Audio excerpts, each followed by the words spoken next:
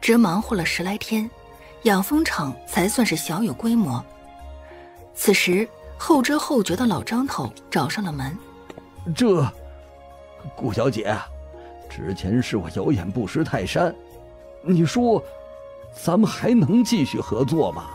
你之前不是傲得很吗？铁了心不跟我们合作，还想找林老爷告密。哎呦，现在怎么了？看见我们养蜂场的规模，眼红了？已经晚了。顾小姐，别怪我说的难听，你懂养蜂，弄了这么多的蜂箱进山，我倒是要看看，到时候你会不会血本无归。说完这句话，老张头啐了一口，直接转身走人。哎，这老头儿，老张头回了家里，爹怎么样了？顾小姐答应了吗？答应个屁！没答应，这可咋办？村长刚刚来通知，说是两天内我们就得从这里搬走。爹，我不是跟你说过让你跟顾小姐合作吗？你干啥要改主意啊？你给我闭嘴！敢教训到你老子头上来了！哼，搬走就搬走，反正养了这么多年的蜂，我早就不想养了。再说了，村长不是给了十两的补偿款吗？有了这十两，我什么事做不成啊？老张头心里转着主意，这些年他也攒了点钱，加上这十两，就能置办个小屋子，还能剩下点钱去刘家提亲。想起刘枣花那前凸后翘的大屁股，老张头的心里痒痒。顾明双又一次带着面膜去青石镇卖了，和上次不同的是，这回他刚把面膜给摆出来，就被大家给抢购一空。你说神不神？我用这面膜就十来天，脸上的痘痘都好了一大半了。就是，我的疤痕也淡化了不少，就连皮肤都变得细腻起来。我家男人出去干活，昨儿回来，他说都不认识我了。嘿，那你家男人昨晚可没少疼你吧？哎呦，去你的！大家一传十，十传百，顿时整个青石镇都知道了。就连顾明双去何方斋拜访钱掌柜的时候，钱掌柜都知道了这事儿。顾小姐，您的面膜能不能给我留两罐啊？钱掌柜，您还敷面膜啊？不是我，是我媳妇，她在县府那边听说了你那顾氏面膜，一定要我给她弄上两罐。哦，原来如此，小事儿。下次我再来镇上，就给您带两罐来。今天不巧，我带来的都卖光了。成。钱掌柜点了点头。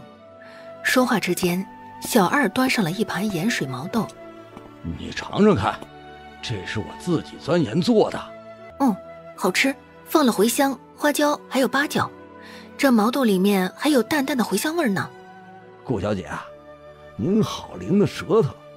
这都被您给吃出来了，钱掌柜，我这里也有个毛豆的菜方子，不知道你想不想要？你有菜方，厨房就在后头，等着你大展拳脚。行嘞，钱掌柜亲自在灶台后面坐下来，给顾明双烧火。钱掌柜，你听好了，我接下来要做的这道小吃叫做卤毛豆，我只做一遍，步骤您可要看清楚啊，就连火候也是不能错的。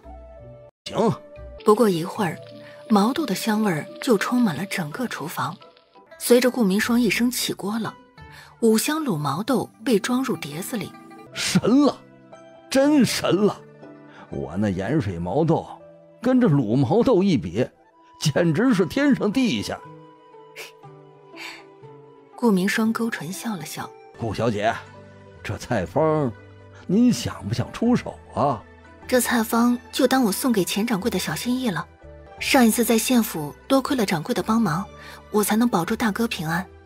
这段时间我一直想要登门道谢，可是无奈琐事太多了，才拖到今天。你是说，你把这菜方送给我？他虽然眼馋着菜方，却不打算先图报。这样吧，我还是按照上次小腊鱼的价钱，把这方子给买断了。你看怎么样啊？不必了，我说出的话没有反悔的。不过除了这卤毛豆，我倒是真有一桩生意想要跟钱掌柜谈一谈。你说，我知道你们何方斋是做小吃点心生意，从今天开始，我每隔一段时间都会给你们何方斋一个方子，但是我不要钱，只要其中百分之一的抽成，您看怎么样？钱掌柜快速打起了小算盘，上司的小辣鱼方子买来虽然花了一千两，可这段时间早就把一千两给赚回来了。不仅如此，还壮大了何方斋的名气。顾小姐，你当真愿意跟我们合作？当然，我能信得过的也只有钱掌柜您的为人了。那好，我同意了。行，您弄个文书过来，咱们两家签了契约，按了手印，这门合作就算是正式开始。钱掌柜点了点头，心想着，不愧是顾明霜，行事心思缜密，丝毫挑不出错来。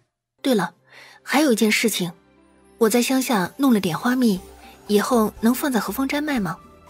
行，这是小事儿。两人签了文书，分作两份。顾明霜拿着其中一份，转身告辞。他高兴的回了家，没想到迎上的却是一屋子愁眉苦脸。又出什么事了？你四叔晕倒了，好不容易才救醒。啊？什么？哎呀！还不是刘枣花，刘枣花给你奶出的馊主意，说你四叔要是不理他，天天就只给他吃白饭。你四叔这些天忙前忙后，营养跟不上，活生生的给饿晕了。什么？那四叔现在呢？原本是晕死在田埂上，这会儿被抬回来了，又请了赵灵医，好一番折腾，总算是醒了。四叔都这样了，哪还不打算把刘枣花给送走啊？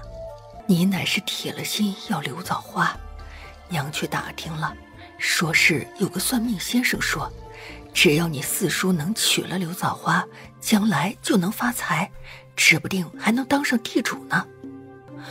这话奶也信啊？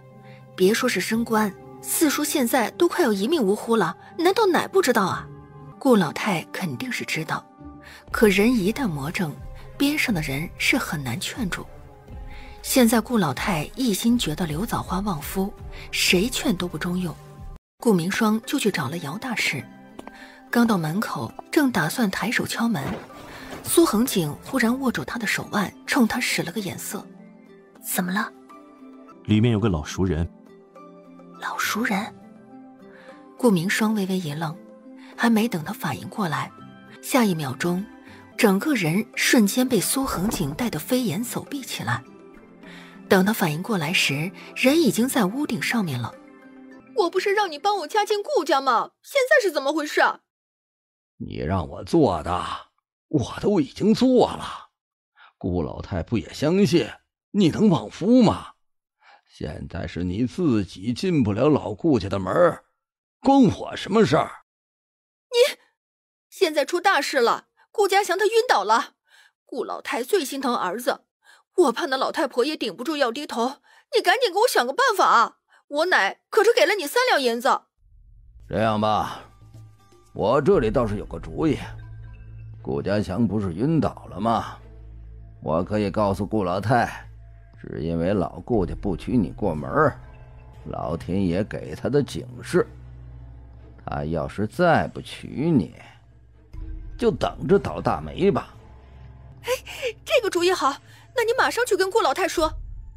这个嘛，让我去说也不难，只是你得再给我一两银子。哼，那三两银子的事儿我已经办了，想让我再办事儿，当然要重新拿银子过来。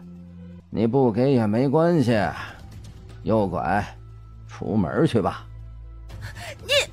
掏出一两银子甩在了桌上，你啥时候去跟顾老太说？我回去理理东西，晌午就过去。成。姚大师收了钱，立马换了一张笑脸，笑眯眯的把刘枣花送到了门口。关上门后，他转过了头，没想到迎面而来一记闷棍，直接将他打翻在地上。